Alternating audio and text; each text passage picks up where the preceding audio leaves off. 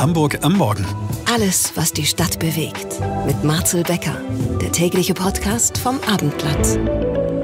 Liebe Kinder, liebe Schüler, guten Morgen. Wir drücken euch die Daumen, dass es heute mit dem Hitzefrei klappt. Und als Tipp für alle Eltern, wie funktioniert das eigentlich mit dem Hitzefrei? Hat unsere Kollegin Irina Finke auf abendblatt.de zusammengestellt. Überschrift Sommer, Sonne, hitzefrei. Das gilt in Hamburgs Schulen. So, und jetzt zu unseren Themen für diesen Mittwoch. Heute ist der 26. Juni. Mit der kleinen Tochter im Auto auf das Rollfeld in Fuhlsbüttel. 1165 Minuten im November, in denen Hamburg den Atem anhält. Der Prozess gegen den Täter ist abgeschlossen. Wir schauen zum einen auf das Urteil gegen den Mann und zum anderen auch auf die Begründung. Was sagt der Richter? Hören wir von unserer Gerichtsreporterin Bettina Mittelacher. Noch ein anderer spektakulärer Prozess ist zu Ende gegangen, allerdings ohne ein Urteil. Das Verfahren gegen den ehemaligen Chef der Hamburger Privatbank Warburg, Christian Olearius, wurde eingestellt. Aus Gesundheitsgründen. Hm, bleibt da ein Beigeschmack nach dem Motto, die Kleinen hängt man, die Großen lässt man laufen? Wir bekommen zu dieser möglicherweise steilen These gleich die Analyse und Beurteilung aus unserer Chefredaktion. Homeoffice ist toll. Aber es kann auch krank machen. Wir haben es alle vielleicht geahnt, aber jetzt gibt es auch Zahlen, also etwas Handfestes, nicht nur Bauchgefühl. Wir blicken heute Morgen in die entsprechende Studie. Wir starten jetzt. Ganz Hamburg hat mit dem kleinen Mädchen gezittert. Wir erinnern uns, das erste Novemberwochenende in 2023. Eine Vierjährige entführt vom eigenen Vater. Damit nicht genug. Der Vater fährt mit der Tochter zum Flughafen und kommt erst auf dem Rollfeld zum Stehen. Der Flugverkehr für 18 Stunden unterbrochen. Am Ende geht die Sache aber gut aus, das Kind unversehrt, der Vater kommt vor Gericht. Bettina Mittelacher, Abendblatt-Gerichtsreporterin, hat den Fall aufmerksam verfolgt. Zum Einstieg für alle, die es noch nicht gehört haben, Bettina, wie lautet das Strafmaß? Zu was wurde der Mann verurteilt? Also der Angeklagte hat zwölf Jahre Freiheitsstrafe bekommen. Damit entsprach das Gericht auch dem Antrag der Staatsanwaltschaft. Verurteilt wurde er unter anderem wegen Geiselnahme und Körperverletzung. Die Verteidigung hatte beantragt, einen minderschweren Fall der Geiselnahme festzustellen und hat aber keinen konkreten Antrag gestellt. Bettina, was uns natürlich sehr interessiert, und ich glaube, das ist in diesem Fall nicht ganz unwichtig. Wie hat der Richter die Entscheidung begründet? Also er hat gesagt, der Angeklagte habe eine enorme kriminelle Energie offenbart durch seine Tat. Er habe überhaupt keine Rücksicht auf andere genommen, insbesondere nicht auf äh, seine kleine Tochter, die er entführt hatte und die viele, viele Stunden am Flughafen im Auto sitzen musste, die sicherlich gar nicht wusste, wie ihr geschah. Der Richter hat das mit einer Zahl sehr deutlich gemacht. Er hat gesagt, 1165 Minuten und 25 Sekunden Angst. Wenn man sich diese Zahl mal vergegenwärtigt, merkt man, über was für eine Riesenzeitspanne wir reden. Und natürlich aus der Perspektive eines kleinen Kindes ist diese Zeit sicherlich unendlich, die sie da also in diesen widrigen Umständen war. Am Flughafen, dünnes Kleidchen, November, viele, viele Polizisten, die da waren, natürlich nur zum Besten des, des Kindes und damit diese Sache möglichst glimpflich ausgeht. Aber äh, der Richter hat ihm sehr, sehr klar gemacht, dass, was das auch für, insbesondere für das Kind bedeutet hat, wie, äh, welche Folgen das für dieses Mädchen hat und auch für die Mutter, die natürlich sich große Sorgen gemacht hat, ob sie ihr Kind überhaupt unversehrt wiederbekommen könnte. Was kannst du uns über den Angeklagten berichten? Wie hat der Angeklagte reagiert? Er hat sehr haltlos reagiert, also er hat äh, dazwischen geredet, also auch sehr laut und energisch dazwischen geredet. Das passt so ein bisschen zu dem Eindruck, den der Angeklagte insgesamt in dem Prozess hinterlassen hat, dass er stört, dass er gar nicht so richtig begreift, was da abläuft, dass er seine Befindlichkeit über die anderer stellt. Er will sich ausdrücken, er will sich Gehör verschaffen. Und das ist auch von einer psychiatrischen Sachverständigen so eingeordnet worden, dass er eben empathielos sei, dass er sich überhaupt nicht für die Belange anderer interessiert. Die Sachverständige hatte weiter gesagt, dass das kleine Mädchen da total aufgelöst war, dass sie geweint hat. Das sieht er gar nicht, meinte mit diesem eher den Angeklagten. Und dass es ihm nur um sich gegangen sei. Und so hat das auch das Gericht heute wieder aufgegriffen und hat das ihm sehr deutlich gemacht. Und Außerdem hat der Richter gesagt, dass äh, diese Geiselnahme aus Sicht nach der Überzeugung des Gerichtes ein Akt der Selbstjustiz gewesen ist. Er hat praktisch das Recht in seine eigene Hand nehmen wollen. Und dieser Intention hat das Gericht eine sehr klare Absage erteilt. Das wird das deutsche Recht nicht dulden. Solche Täter werden hart bestraft, was ja auch mit diesen zwölf Jahren dann zum Ausdruck gekommen ist. Möglicherweise war das aber noch nicht alles in dieser Geschichte. Ist das jetzt schon der Endpunkt, Bettina? Oder kommt auf den Täter möglicherweise noch ein zivilrechtlicher Prozess zu? Wenn dieses Urteil rechtskräftig wird, dagegen ist ja noch Revision möglich, dann wird der Angeklagte in Haft kommen. Irgendwann wird er sehr wahrscheinlich abgeschoben werden in sein Heimatland. Wie das dann mit den Schadenersatzforderungen ist, wird sich zeigen. Allein der Flughafen hat ungefähr eine halbe Million Euro berechnet, die diese Tat gekostet hat, weil ja viele, viele Flugverbindungen abgesagt werden mussten. Passagiere werden möglicherweise Schadenersatzforderungen erheben.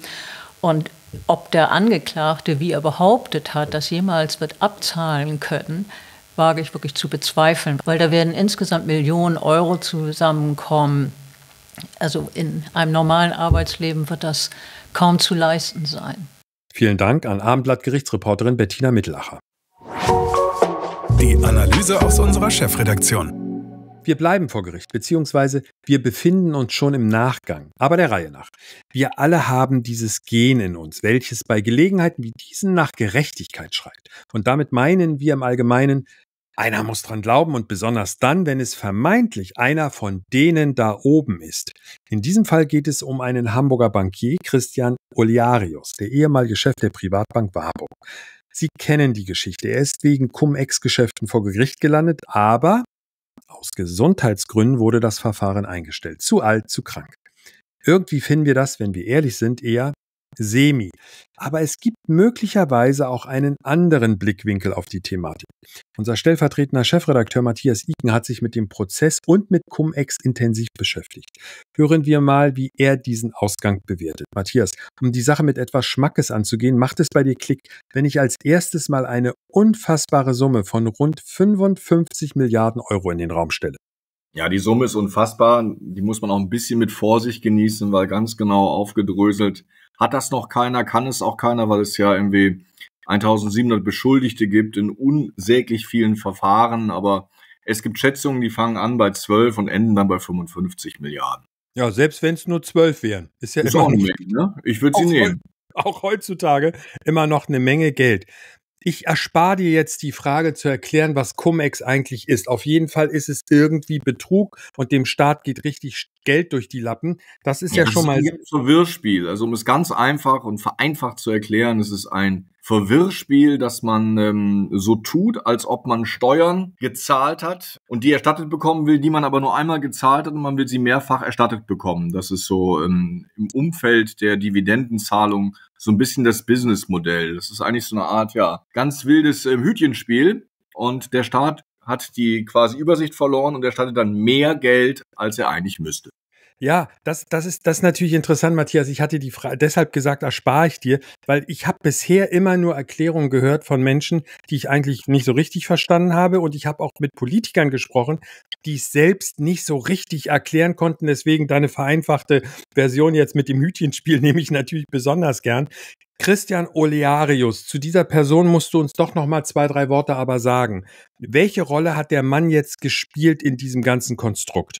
Naja, er hatte am Ende des Tages vielleicht auch ein bisschen Pech, dass an ihm die gesamte Öffentlichkeit diese Cum-Ex-Problematik zum ersten Mal gehört und gesehen hat und er weiter im Fokus steht und stand, weil bei ihm natürlich auch noch diese politische Komponente reinkommt, dass er ja damals auch den Bürgermeister namens Olaf Scholz besucht hat und kurze Zeit später eine Finanzforderung des Finanzamtes Hamburg dann fallen gelassen wurde, die im Zusammenhang mit diesen Cum-Ex-Geschäften stand. Deshalb haben alle sich vor allen Dingen Herrn Olearius in den Blick genommen, lag auch ein bisschen daran, dass er ja bis heute eigentlich seine Unschuld beteuert und sich selber auch als Opfer fühlt eine Sichtweise, die das Gericht so nicht mitgegangen ist. Und er hat ja auch schon, das muss man auch sagen, in den vergangenen Jahren als persönlich haftender Gesellschafter mit seinem Partner aber Millionen, 230 Millionen an den Staat zurückgezahlt. Ja, das ist natürlich auch eine Menge Geld, gar keine Frage. Aber jetzt ist dieser Prozess eingestellt.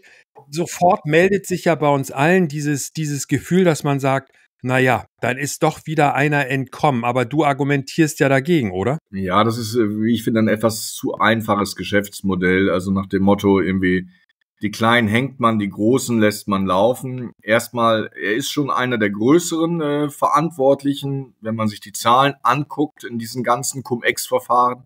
Aber beileibe nicht der einzige und auch nicht der erste. Es gab ja sogar eine Bank, die, die Maples Bank, die in Kanada sitzt und ihre Tochter hatte eigentlich nur ein Geschäftsmodell, nämlich mit Cum-Ex Geld zu verdienen. Und als das dann aufflog, war die Bank ganz schnell zahlungsunfähig. Also da gibt es auch Player, da ist der Vorstand auch eingefahren. Es gab ähm, Steuerprüfer, die gesagt haben, oh, das ist ja eigentlich äh, völlig legitim, dieses Verfahren. Also es ist schon, muss man sagen, ein Geschäftsmodell, in Anführungsstrichen, an dem sehr, sehr viele sehr, sehr viel Geld verdient haben.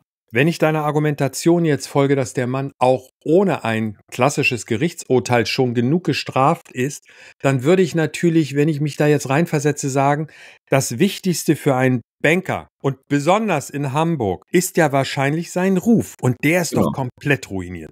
Der ist ruiniert, aber der ist schon seit Jahren ruiniert. Ich glaube, deshalb hat er sich auch so auf die Hinterbeine gestellt und hat eigentlich gehofft, dass er quasi einen Freispruch bekommt. Das muss man jetzt ja genau sehen. Er hat ja keinen Freispruch bekommen, sondern das, was er bekommen hat, ist letztlich ähm, eine Verschonung von dem Prozess, weil seine Gesundheit halt so angeschlagen ist.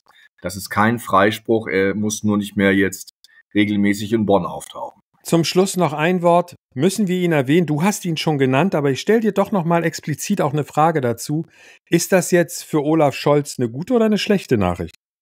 Tendenziell eine gute Nachricht, wobei es gibt natürlich Aktivisten, die immer wieder seinen Namen in die Debatte reinwerfen. Die wollen über Cum-Ex den äh, Bürgermeister und jetzigen Kanzler zu Fall bringen. Da habe ich auch eine Meinung zu. Also ich halte das für etwas neben der Kappe, denn Olaf Scholz hat, auch wenn er seine Erinnerungslücken da in den Mittelpunkt stellt, sich ja nicht selbst bereichert und hat am Ende des Tages vielleicht in einer schwierigen Situation ähm, Herrn Oliarius empfangen. Was da genau diskutiert wurde, wissen wir alle nicht. Und ähm, wir können daraus juristisch halt nicht ableiten, dass ähm, es da einen Zusammenhang gibt mit diesem quasi Erlass dieser Steuerforderung durch das Finanzamt. Und von daher finde ich, ist das extrem dünnes Eis, auf dem einige da unterwegs sind. Ich kann Ihnen, liebe Podcast-Freunde, nur empfehlen, einmal auf abendblatt.de zu gehen und Matthias Kommentar zu der eben geschilderten Materie zu lesen. Als Krönung gibt's von ihm ein Zitat von Bertolt Brecht. Was ist ein Einbruch in eine Bank gegen die Gründung einer Bank? Also, Prädikat lesenswert. Danke an Matthias Sie. Wo arbeiten Sie jetzt gerade? Im Büro, in einer Praxis, auf dem Bau oder aber im Homeoffice? Also, Unsere Producerin Emily Niebuhr ist mir aktuell von zu Hause zugeschaltet. Ich sitze auch bei mir zu Hause mit MacBook und Mikro am Schreibtisch. Sehr praktisch. Funktioniert. Aber wir haben es immer geahnt. So sehr wir uns alle daran gewöhnt haben, an dem einen oder anderen Tag in der Woche im Homeoffice zu arbeiten, diese Arbeitsweise hat natürlich auch Schattenseiten. Jetzt bestätigt durch die Langzeitstudie Social Health at Work der Barmer und der Universität St. Gallen. Unsere Chefreporterin Miriam Opresnik hat sich diese Studie näher angesehen. Aber Miriam, natürlich am Anfang mein Einwand, ist doch klar, da steht ein Ergebnis. Wenn wir ganz ehrlich sind, haben wir das immer geahnt. Homeoffice ist für die Gesundheit nicht unbedingt nur gut. Ja, gemein, ne? Ich glaube, jeder von uns mag Homeoffice und weiß es durchaus ja. zu schätzen, zumindest die, die es gerne in Anspruch nehmen. Aber ähm, ja, vielleicht hat man es bei sich selber auch schon gemerkt. Jetzt hat die Studie nochmal eindeutig nachgewiesen. Genau, Homeoffice ist für die Gesundheit zumindest ein gewisses Risiko, weil eben herausgekommen ist, dass sich immer mehr Arbeitnehmer emotional erschöpft fühlen und es einfach nicht so schaffen, diese Grenze zu ziehen. Ne? Also du hast es trotzdem so, dass du abends nochmal schnell deine E-Mails checkst oder in deine Teams-Kanäle guckst und du hast nicht mehr so diese Trennung zwischen Job und Freizeit, wie es vielleicht früher war, wenn du um 18 Uhr in die Bahn gestiegen bist und nach Hause gefahren bist und die Tür zugemacht hast. Und selbst früher war es ja schon schwieriger, dadurch, dass also in dem Moment, wo es anfing, dass man zu Hause Internet hat, man konnte Mails lesen, dann wurde es ganz schlimm mit dem mhm. iPhone. Du konntest jederzeit deine Mails lesen. Du hast auch komischerweise diesen Drang gehabt, selbst im Urlaub da mal reinzugucken. Man ist ja auch selber ein bisschen schuld an dieser Situation. Aber so wie du es jetzt schilderst zu Hause, dass man den Feierabend gar nicht so richtig im Blick hat. Manchmal sitzt man vielleicht auch früher am Schreibtisch, als man müsste. Das alles mhm. führt dazu, dass wir irgendwann in so einer Spirale sind, die uns tatsächlich, Miriam, haben wir richtig verstanden, auch krank machen kann oder zumindest überfordert. Klar, das geht eindeutig aus der Studie hervor, dass es ein gewisses Gesundheitsrisiko ist und die Arbeitnehmer sind einfach jetzt auch gefordert, da eine gewisse Sensibilität zu haben und sich das klar zu machen. Wenn ich permanent im On bin und immer meine ganzen Nachrichten checke, dass das einfach zum erhöhten Stressfaktor führt. Was ist denn die Lösung? Kein Homeoffice wird es ja wohl nicht sein, obwohl viele Firmen ja diesen Trend haben zu sagen, die Menschen müssen mehr wieder ins Büro kommen, weil sie das Gefühl haben, die Bindung zum Unternehmen geht verloren. Aber darüber reden wir beide jetzt gar nicht. Was kann jeder von uns selbst tun? Vielleicht sich wird das wirklich nochmal mehr bewusst machen, dass man eben sagt, egal welche Zeit man sich setzt, aber ab 19 Uhr gucke ich vielleicht nicht mehr meine Mails oder Teams-Nachrichten oder dergleichen nach oder ich checke nicht mehr, was auf unserer Homepage passiert oder ob irgendjemand was geschrieben hat oder ob ich schnell noch auf irgendwas reagieren muss, sondern das kann durchaus auch bis morgen warten. Also ich glaube wirklich ganz wichtig ist dann eine hohe Eigenverantwortung. Das soll jetzt aber gar nicht so belehrend äh, klingen. Wir haben ja schon drüber gesprochen. Wir müssen uns da auch an die eigene Nase packen. Ne? Also ich checke auch abends nochmal vorm Schlafengehen schnell meine E-Mails. Und wenn da was ist, dann beantworte ich das auch schnell. Ja, und ich finde auch, ist ja auch kein Geheimnis und ich glaube, es ist jetzt auch nicht, wo ich irgendwie ein Geheimnis ausplauder nach dem Motto, äh, das hätte man niemals sagen sollen in der Öffentlichkeit. Homeoffice macht uns natürlich auch einen Hauch bequem. Ich sag's mal so, wie es ist. Also, es fängt damit an, dass wir morgens möglicherweise in der Jogginghose ins erste Meeting gehen können, weil man einen ja nur sozusagen oben sieht. Man, man kann sich den Kaffee noch mal in Ruhe kochen, man kann jederzeit aufstehen, an den Kühlschrank gehen, man kann nebenbei vielleicht noch mal Musik hören, was auch immer. Wir wissen alle, dass es auch Untersuchungen darüber gibt, wann der Netflix-Schatten, so heißt das als Fachwort tatsächlich, schon einsetzt. Das wird nämlich auch immer früher bei den Menschen im Homeoffice. Das ist noch nicht mal ein Vorwurf, sondern es ist ja einfach nur so sind wir Menschen. Und Miriam, ich muss ganz ehrlich sagen, wenn ich aus dem Homeoffice am nächsten Tag in die Redaktion fahre, mit dem Auto oder mit der Bahn, dann merke ich natürlich, was das für ein zeitlicher Aufwand ist.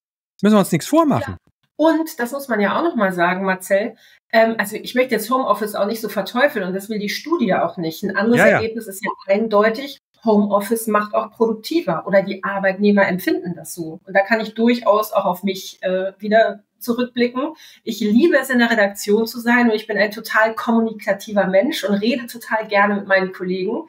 Ich merke aber durchaus hier zu Hause, wenn ich meine Tür zumache, schaffe ich einfach mehr weggeschrieben als vielleicht in einer Redaktion, wo viele um mich rumsitzen und ich gerne und auch quatsche zwischendurch. Ja, ja, ja, absolut. Und ich finde, es gehört ja gerade in so einem kommunikativen Beruf, Beruf, wie wir ihn jetzt haben, auch unbedingt dazu.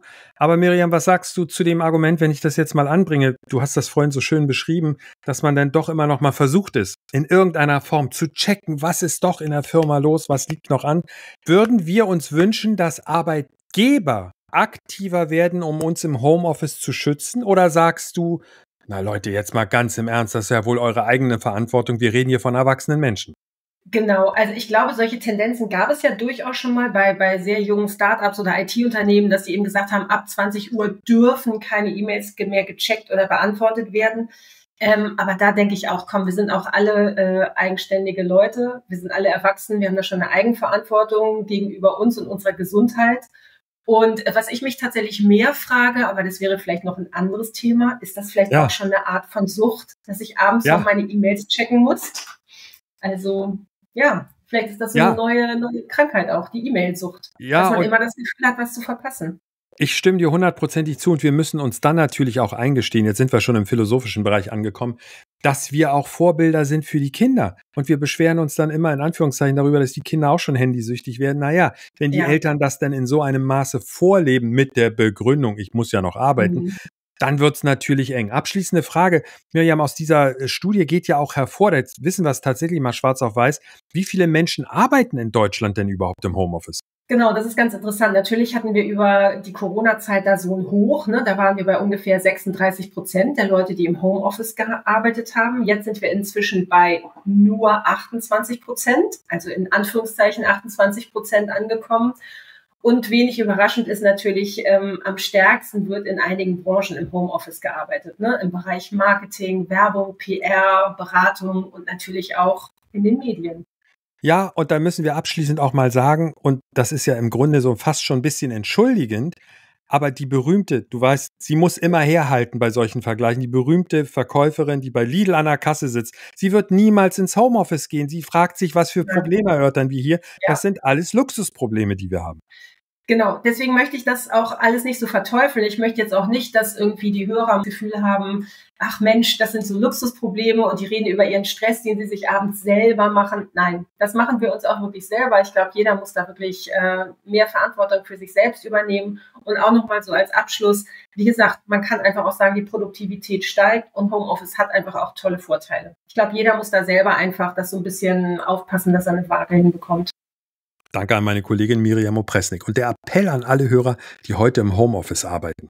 Falls das nicht als Bevormundung gewertet wird, pünktlich Feierabend machen und abends nicht nochmal die Mails checken, nehme ich mir jetzt auch fest vor.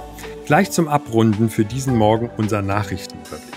Falls Sie noch mehr zum Thema Homeoffice hören wollen, und zwar zwei sehr, sehr gegensätzliche Standpunkte, dann empfehlen wir unsere Episode vom 1. April zu Gast zum einen Abendblatt-Chefredakteur Lars Heider, ein großer Verfechter des Homeoffice, und zum anderen der ehemalige Boss der Bild-Zeitung, Kai Diekmann. Er sagt über sich, ich bin der Taliban der Anwesenheitspflicht. Der Link zu dieser sehr unterhaltsamen Folge ist in unseren Shownotes. Bis morgen und bye bye. Kompakt informiert. Der Nachrichtenüberblick bei Hamburg am Morgen. Ich bin Philipp Nützig. Guten Morgen. Der umstrittene Hala-Deal ist heute erneut Thema in der hamburgischen Bürgerschaft. CDU und Linke hatten das Thema erneut beantragt. Letzte Woche hatte der Haushaltsausschuss dem Einstieg der Reederei MSC bei der Hala zugestimmt. Endgültig entschieden wird voraussichtlich in zwei Wochen. Gegen die bekannte Holocaustleugnerin Ursula Haferbeck könnte vor dem Hamburger Landgericht heute möglicherweise ein Urteil fallen. Vorher werden erst einmal die Plädoyers erwartet. Die in der rechtsextremen Szene beliebte 95-Jährige hatte gegen ein Urteil der Volksverhetzung von 2015 Berufung eingelegt, das jetzt neu verhandelt wird. Gut 380 Menschen mussten auf der ICE-Strecke zwischen Hamburg und Berlin aus einem Zug geholt werden. Der war liegen geblieben. Grund war eine defekte Bremse, heißt es von der Deutschen Bahn. Kurz vor dem Bahnhof Beutzenburg mussten die Passagiere erst stundenlang warten und dann über Trittleitern aus dem Zug steigen. Ein Podcast von Funke. Weitere Podcasts vom Hamburger Abendblatt finden Sie in unserer Abendblatt Podcast App und auf abendblatt/podcast.